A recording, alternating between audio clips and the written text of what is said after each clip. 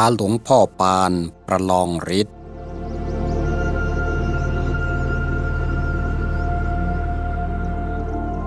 แม้ว่าพระมหาวีระทาวโร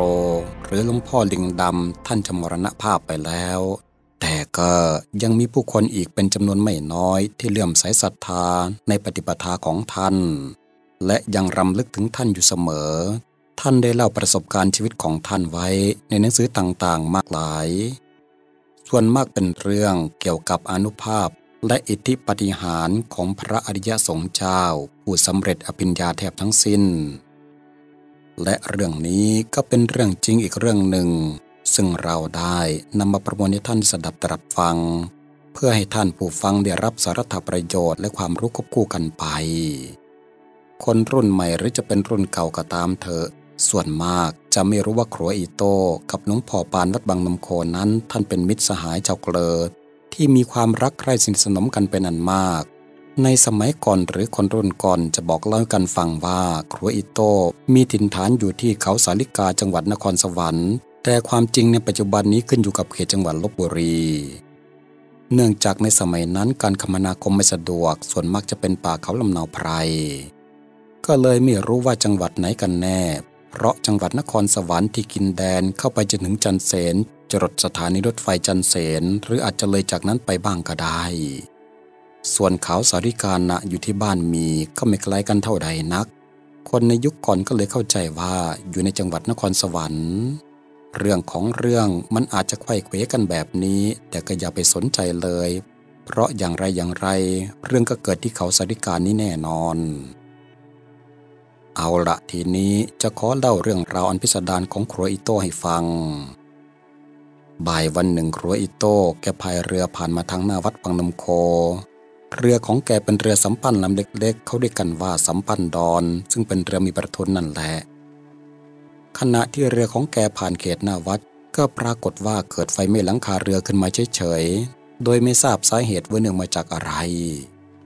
แต่แทนที่ครัวอีโต แกจะใช้น้ำในแม่น้ำดับไฟ ซึ่งก็ไม่อยากเป็นอะไร เพียงแค่ใช้ขันตักน้ำสัตว์ไปบนหลังคาสักสองสามขันไฟก็คงดับ แต่แกก็ไม่ยอมทำแกทิ้งเรือโดดลงน้ำว่ายเข้าตะลิงหน้าวัดบางนมโค ในมือมีอตัวเล่มหนึ่งถือติดไปด้วย พอขึ้นตะลิงได้ก็ส่งเสียงเอะอะเอตโร ร้องตะโกนท้าทายดังลั่น เฮ้ย ใครแน่วะ น้อยมาแกล้งกันได้นี่วาพายเรือมาดีๆ มาลอบจุดหลังคาเรือทำแบบนี้หมายความว่ายังไงวะ เก่งจริงก็ออกมาตีกันโว้ยรัวอีโตแกไม่ได้ท้าทายด้วยปากเท่านั้น แต่ในมือของแก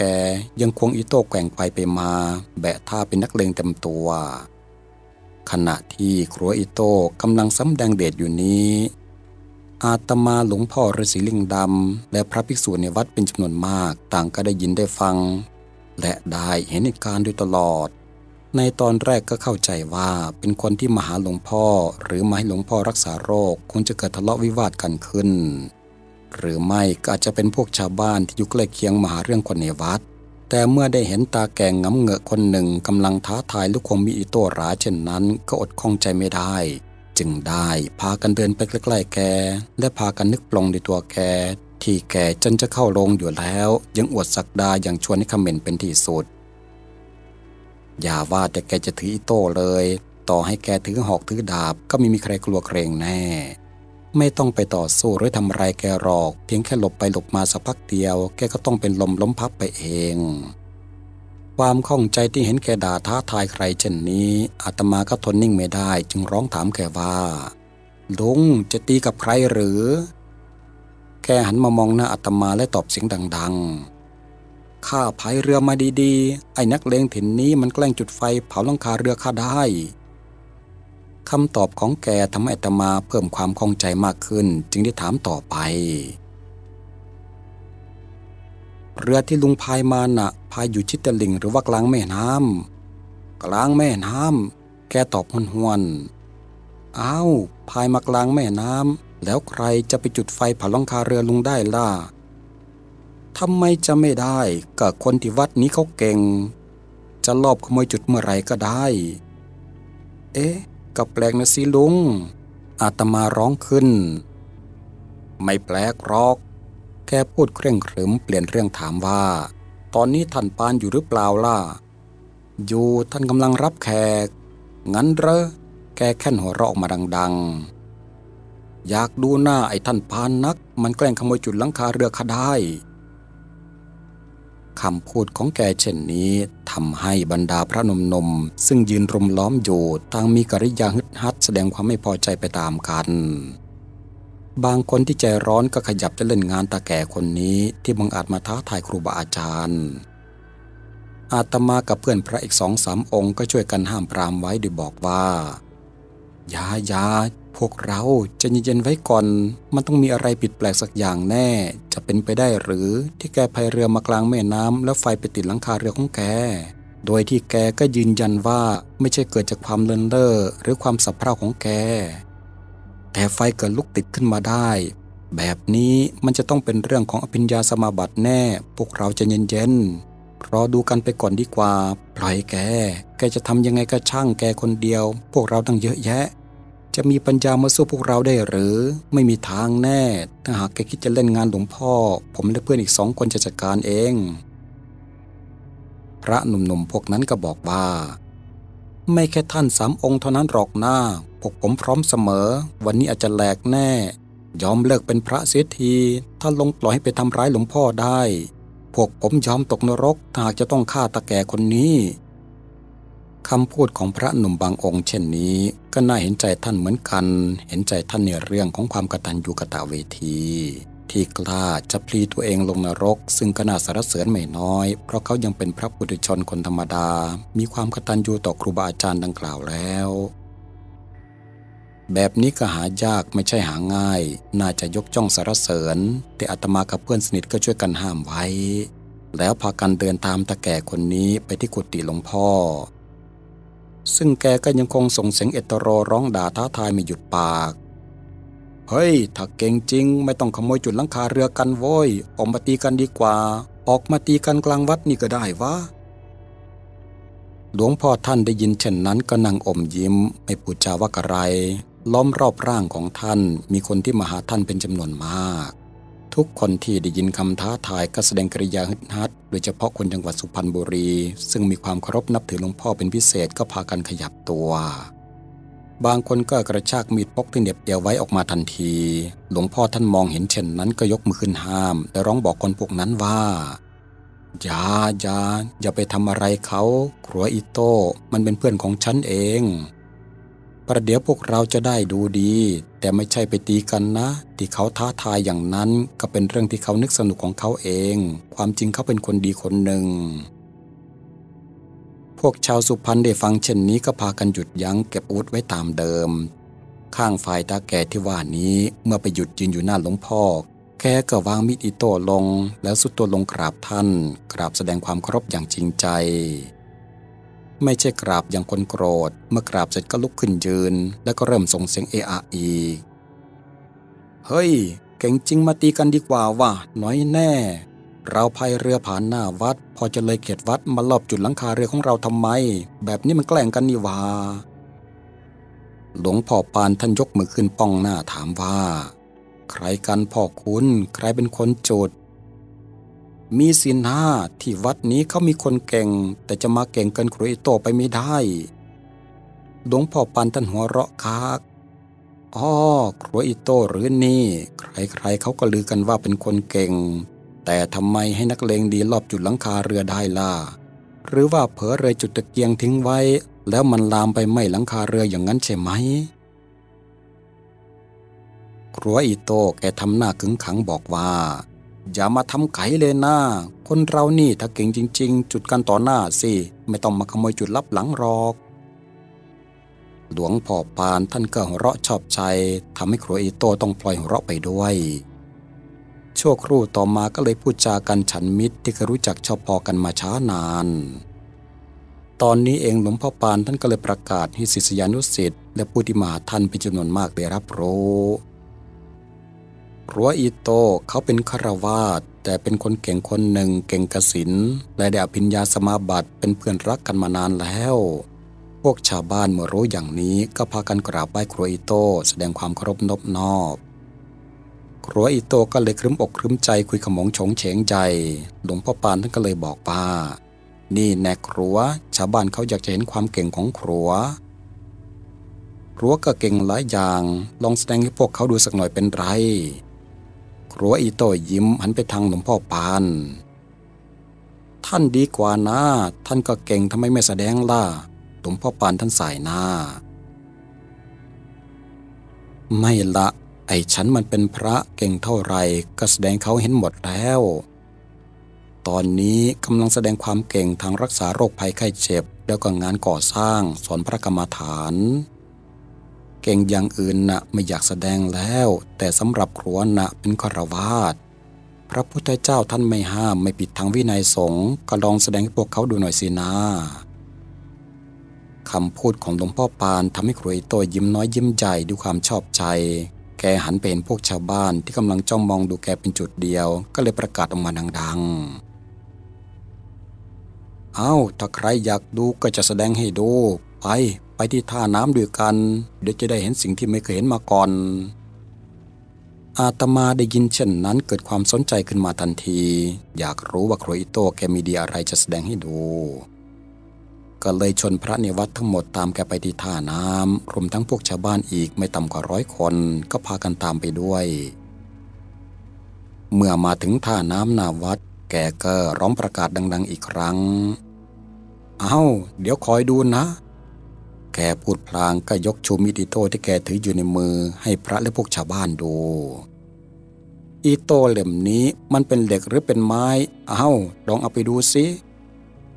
อาตมาซึ่งยืนอยู่ใกล้ๆแกรับเอามาตรวจดู และส่งไปให้พระรูปอื่นๆรวมทั้งพวกชาวบ้านก็ไปดูด้วย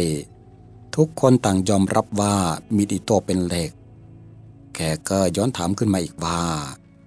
เหล็กมันลอยน้ำหรือจมน้ำตามธรรมดาเหล็กมันก็ต้องจมน้ำสิโยม พระรูปหนึ่งร้องบอก แกก็ยิ้มและพูดว่า เดี๋ยวผมจะคว้างมีดอิโต้เล่มนี้ลงไปในแม่น้ำและจะเรียกมันกลับคืนมาให้ได้ พูดจบแกก็เดินไปที่ริมตลิง และคว้างมีดอิโต้ลงไปในน้ำทันที ท่ามกลางสายตาของทุกๆ คนที่จ้องมองดูด้วยความสนใจ เมื่อมีดจมหายลงไปในน้ำแล้ว แกก็พูดขึ้นดัง ๆว่าอิโต้เอ๋ยเอ็งกับข้าก็เป็นเพื่อนรักเพื่อนเกลอกันมานานแล้ว ถ้าเองจากไปข้าก็เหงาแย่ อย่าจากข้าไปเลยเพื่อนรัก กลับขึ้นมาหาข้าเถิด เร็วขึ้นมาหาข้าเดี๋ยวนี้ ทันทีที่เสียงของแกขาดหายไป มีดอีโตก็ค่อยๆโผล่ขึ้นมาเหนือน้ำและวิ่งฉิวเหมือนจรวดเข้ามาอยู่ในมือของแกตามเดิม แกหันมาบอกผู้ที่มุงดูอยู่ด้วยเสียงหัวเราะ เอาละแสดงให้ดูแค่นี้ก็คงจะพอแล้ว ทุกคนต่างพากันมองดูแกด้วยความเลื่อมใสศรัทธา และคราวนี้ก็ต่างเชื่อโดยแน่ชัดว่าครัวอิโตผู้นี้เป็นคนเก่ง นอกจากจะเก่งกสินแล้วยังได้ปัญญาสมาบัติด้วย ในคืนนั้นปรากฏว่าครัวอิโตนอนค้างอ้างแรมอยู่ที่วัดบางน้ำโค โดยหลวงพ่อปานท่านจัดห้องอยู่เป็นพิเศษ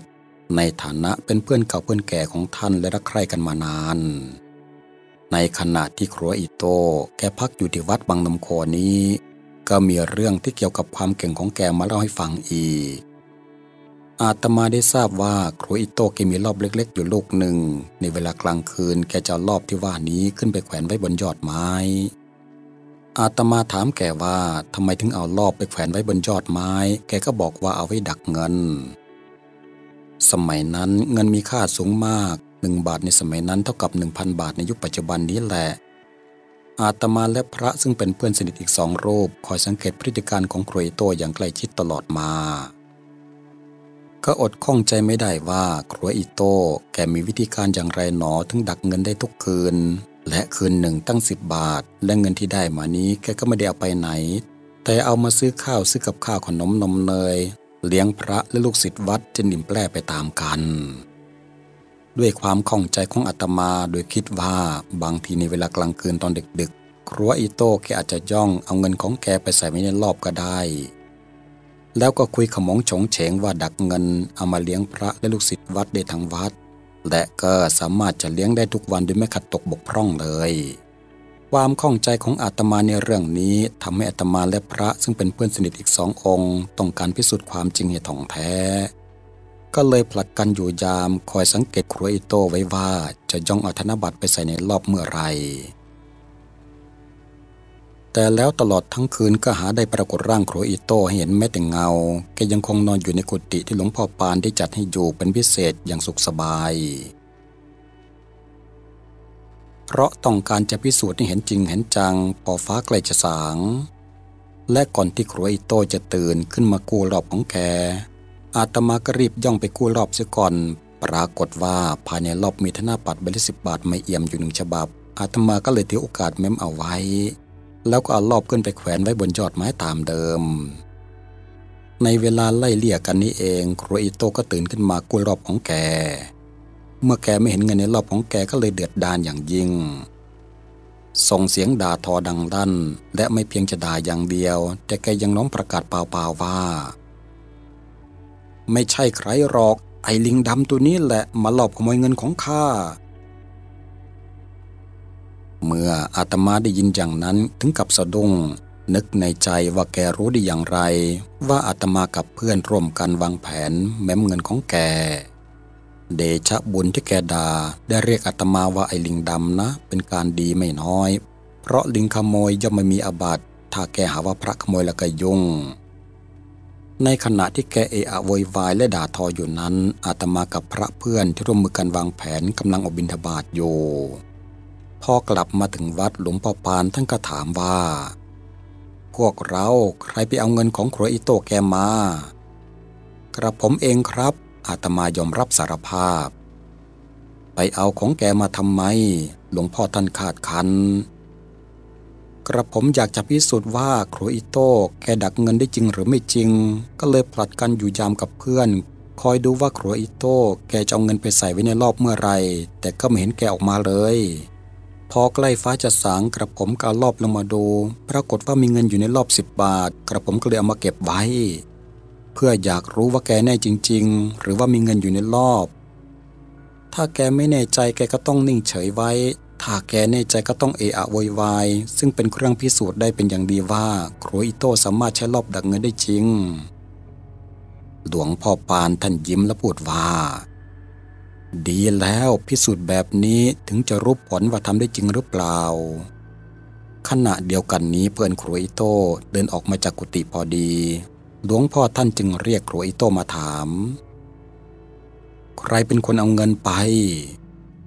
ครัวอิโต้แกชี้มือมาที่อาตมาแล้วบอกว่า ไอ้ลิงดำตัวนี้แหละที่มันเอาไป อาตมาก็เถียงว่า ไม่ได้ขโมย เพราะธนบัตรที่อยู่ในรอบนะ่ะจึงหาเจ้าของไม่ได้ มันเป็นอาการมิกัง ไม่ใช่เงินอยู่ในกระเป๋าครัวแล้วอาตมาไปเอามา แต่เงินมันอยู่ในรอบเอง ถือว่าไม่มีเจ้าของคำโต้ตอบของอาตมาทำให้ครัวอิโต้แกหัวเราะชอบใจใจเก่งเก่งมีปฏิพานดี เอาถ้าอยากได้ก็เอาไปเถอะ อาตมาปฏิเสธส่งเงินคืนให้แกและบอกแกตามความจริง อาตมาไม่อยากได้หรอก แต่ต้องการจะพิสูจน์ความจริงเท่านั้น แกพยักหน้าพูดด้วยเสียงกลัวไปกับเสียงหัวเราะ ไม่ใช่องค์เดียวเท่านั้นนะ แต่พลัดกันเปลี่ยนเวรอยู่ยามถึงสามองค์ นอนอยู่ในกุฏิก็มองเห็นชัด นั่นแน่เก่งซะด้วย อาตมานึกในใจไม่ได้พูดออกมาหรอก เป็นอันว่าเรื่องการใช้ลอบดักเงินของครอยโตนั้นเป็นเรื่องทำได้จริง ซึ่งเห็นประจักษ์ด้วยตาแล้ว รวมทั้งเพื่อนสนิทอีกสององค์ ในสมัยนี้เขาก็ทำรอบขายเหมือนกัน ผู้ที่ซื้อไปก็นำไปให้บรรดาคณาจารย์ชื่อดังทั้งหลายปลุกเสกแล้วก็นำไปบูชาเพื่อเงินทองจะได้ไหลมาเทมา แต่ก็ไม่เห็นจะมีเงินเข้าไปอยู่ในรอบเลยไม่แต่บาทเดียว อย่างนี้เรียกว่าไม่ได้ประโยชน์และไม่เก่งจริง เสียสตังไปซื้อรอบมาเปล่าๆ เอาเงินไปฝากอมสินซะดีกว่า เพราะยังได้ดอกเบี้ยด้วย หรือไม่ก็ไปซื้อข้าวซื้อของซื้อก๋วยเตี๋ยวกินก็ยังอิ่มท้อง ได้ประโยชน์กว่าไปซื้อรอบมาเป็นไหนไหน ขอโทษนะที่พูดอย่างนี้ไม่ได้ติติงหรือว่าใครหรอก เป็นแต่อยากให้ข้อคิดว่าทำไม่ได้ผลอย่างครัวอิโต้จะไปซื้อรอบไม้เสียเงินเสียทองทำไม ถ้ามีรอบมีใส่แล้ว เงินมันเข้ามาติดรอบติดใส่ก็เป็นอันหมดเรื่องกัน ถ้าทำไม่ได้อย่างครัวอิโต้แล้วจะไปปลุกเสกหลอกลวงชาวบ้านเขาทำไม อย่างนี้ไม่เห็นด้วยทำไม่ได้จริงแล้วอย่าทำเออถ้าสามารถดักเงินได้อย่างครัวอิโต้ คอยเอาเงินไปแจกชาวบ้านอย่างนี้น่าสารเสริญ แต่ถ้าเอารอบเอาไซไปบูชา และบอกว่าเงินทองจะไหลมาเทมา ทั้งทั้งที่เป็นเจ้าของรอบเจ้าของไซก็ต้องทำไร่ไถนาทำการค้าทำราชการกันอย่างตัวเป็นเกลียว แล้วมาคุยว่าร่ำรวยเพราะรอบเพราะไซอย่างนี้ก็ไม่ถูก และมีหลักฐานที่เชื่อถือได้ก็ควรจะยุติและเลิกไปเสียที ในระหว่างที่ขรัวอีโต้แกมาพักอยู่กับหลวงพ่อปานที่วัดบางนมโคนี้ หลวงพ่อปานเห็นขรัวอีโต้แกใช้ลอบดักเงินมาเลี้ยงพระเณร และศิษย์วัดในทุกๆวัน ท่านก็เลยนึกสนุกขึ้นมาบ้าง จึงเรียกพระในวัดซึ่งเป็นศิษย์ใกล้ชิดท่านสองสามองค์มาพบและบอกว่าขรัวอีโต้เขาเป็นแขกของเรา แต่เขากลับหาเงินมาเลี้ยงพวกเราได้ทุกๆวันอย่างนี้ ถ้าจะพูดไปแล้วมันก็ไม่ถูก เพราะเราเป็นเจ้าของบ้าน เราน่าจะเป็นฝ่ายเลี้ยงเขามากกว่า พระที่เป็นสิทธิ์ก้นกุฏิเห็นด้วยกับคำพูดของท่าน จึงสนับสนุนและคล้อยตามว่าจริงอย่างหลวงพ่อว่า เพราะดูดูก็รู้สึกนั่นละอายใจเหมือนกัน เพราะแกต้องเป็นฝ่ายเอาเงินอยู่ข้างเดียวตลอดเวลา แล้วคิดว่าจะทำยังไงดีล่ะหลวงพ่อท่านแกล้งถาม พระผู้เป็นสิทธิ์ก้นกุฏินิ่งอึง้ง เพราะไม่รู้จะตอบท่านว่าอย่างไร ท่านก็เลยพูดขึ้นอีกด้วยใบหน้ายิ้มยิ้ม เอาอย่างนี้ก็แล้วกัน ขอให้เราได้มีส่วนช่วยเหลือแบ่งเบาภาระของเขาบ้างก็ยังดี หลวงพ่อจะทำยังไงขอรับ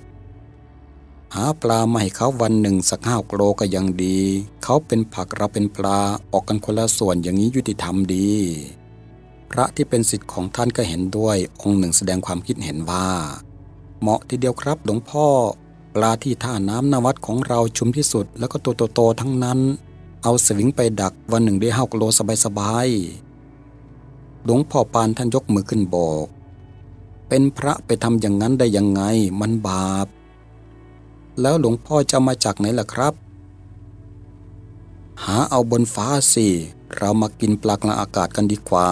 ถ้าปลาตัวไหนที่มันจะถึงที่ตาย มันก็ขึ้นไปติดเบ็ดของเราบนอากาศ เราก็เอามากินได้โดยไม่บาป เพราะปลาพวกนี้มันจะต้องตายแล้วทั้งนั้น ท่านพูดแล้วก็สั่งพระลูกศิษย์ให้ไปขอยืมเบ็ดราวจากชาวบ้าน ซึ่งอยู่ใกล้ๆวัดมาขึงไว้บนยอดไม้ โดยขึงจากยอดต้นไม้หนึ่งไปยังอีกต้นหนึ่งในตอนพลบค่ำบรรดาพระลูกศิษย์ก็ช่วยกันปฏิบัติตามคำสั่งของท่านอย่างขมักเขม้นเมื่อเป็นที่เรียบร้อยแล้วก็มาบอกท่าน เสร็จแล้วครับหลวงพ่อ หลวงพ่อจะทำยังไงต่อไปครับ ดีแล้วไม่ต้องทำอะไรหรอก ไว้ตอนเช้าตรู่ค่อยไปดู ว่าปลามันจะมาติดเบ็ดบ้างหรือเปล่า พระลูกศิษย์ต่างมองหน้ากันอย่างงงๆ แต่ไม่กล้าซักถามรายละเอียดต่อไป นอกจากจะคอยเวลาจนกว่าเช้าตรู่จึงจะรู้ว่ามีปลามาติดเบ็ดที่ขึงไว้กลางอากาศบ้างหรือเปล่า และเมื่อถึงเวลาดังกล่าว พระลูกศิษย์ของท่านก็พากันไปดูเบ็ดราวกลางอากาศ ภาพที่ได้เห็นทำให้พระทุกรูปต้องยืนจังงังอย่างตกตะลึงพรึงเพริด เพราะปรากฏว่าเบ็ดราวที่ขึงไว้บนยอดไม้ มีปลามาติดเป็นจำนวนมาก มีทั้งปลาเค้าปลาเนื้ออ่อนปลาสวาย แต่ละตัวอ้วนและเนื้อแน่นๆทั้งนั้น ขณะที่บรรดาลูกศิษย์ไปเห็นปรากฏว่าปลายังดิ้นอยู่บนอากาศ มันดิ้นกระแด่วกระแด่วติดอยู่กับเบ็ดราว และไอเบ็ดราวที่ตกปลาบนอากาศนี้ ใช้ขึงจากยอดไม้ยอดหนึ่งไปยังอีกยอดหนึ่ง ระยะจากพื้นกระสูงไม่ใช่เล่น พอปลดปลาจากเบ็ดลงมาถึงพื้นดิน ปรากฏว่าปลากระตายสนิททุกตัว ก็เลยลำเลียงไปทำกับข้าวกินกัน จะแกงจะผัดจะทอดจะนึ่งอะไรก็สุดแล้วแต่ความพอใจ เป็นอันว่าได้ช่วยแบ่งเบาภาระครุยโตไปในตัว เพราะเงินสิบบาทที่แกใช้รอบดัก แกก็ไปซื้อเครื่องแกง ซื้อเครื่องต้ม เครื่องประกอบต่างๆ มาผสมกับปลาของหลวงพ่อปานที่ท่านตกได้ทางอากาศเหมือนกัน แต่ละวันได้ไม่ต่ำกว่า 5-6 กิโลเป็นอย่างน้อย เรียกว่าสามารถกินกันอย่างอิ่มน้ำสำราญทีเดียว ไม่ต้องอับอายครัวอิโตแกที่ไม่ได้บิดเบียนหรือกินของแกข้างเดียว เรื่องที่อาตมาได้ประสบการณ์มานี้เป็นเรื่องของผู้ได้อภิญญาสมาบัติซึ่งยากนักยากหนาที่จะได้พบเห็น แต่อาตมาก็ได้ประจักษ์มาแล้ว ด้วยสายตาของอาตมาเอง จึงนับว่าอาตมาเป็นอีกผู้หนึ่งที่โชคดี ได้เห็นสิ่งปฏิหารอัศจรรย์ที่ผู้คนอีกมากมายหลายคนไม่ได้พบเห็น จึงนำมาเล่าสู่กันฟัง และขอยืนยันในฐานะที่เป็นภิกษุและเป็นสานุสิทธิ์ที่ใกล้ชิดหลวงพ่อปานวัดปังนำโคจังหวัดอยุธยาอีกคนหนึ่งว่า เรื่องราวทั้งหมดที่นำมาเล่าให้ฟังเป็นเรื่องจริงทั้งสิ้น มิได้เสกสรรปั้นแต่งหรือเขียนขึ้นเองแต่ประการใด